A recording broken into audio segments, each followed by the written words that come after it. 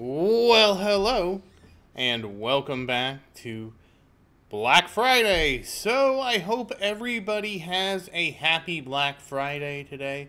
I don't even know why we have this holiday off. They usually don't let us have holidays off in America. You're usually forced to work forever. It's one of the more confusing holidays because it is the holiday of celebrating the importance of buying stuff for Christmas. That's right, and we're even trying to export this holiday to other countries in the world. The sales are marginal at best, and, you know, are trying to take advantage of your FOMO in buying things that you don't need. That's right. Welcome to the most American holiday of all, Black Friday. So I do hope if you're looking for some deals that you find the deals that you need. Make sure that you buy stuff in excess and especially buy products made in America. If you don't know if a product is made in America, that's fine. Just buy our movies, watch our TV shows.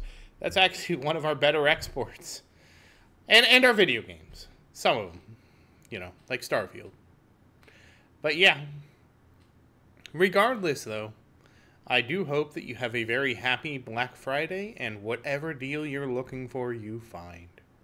So, once again, as always, thank you for watching. Please like and subscribe to support the channel. If you have any questions, feel free to say something in the comments. I do always look forward to your questions. And as always, thank you again, and I hope you have a great day.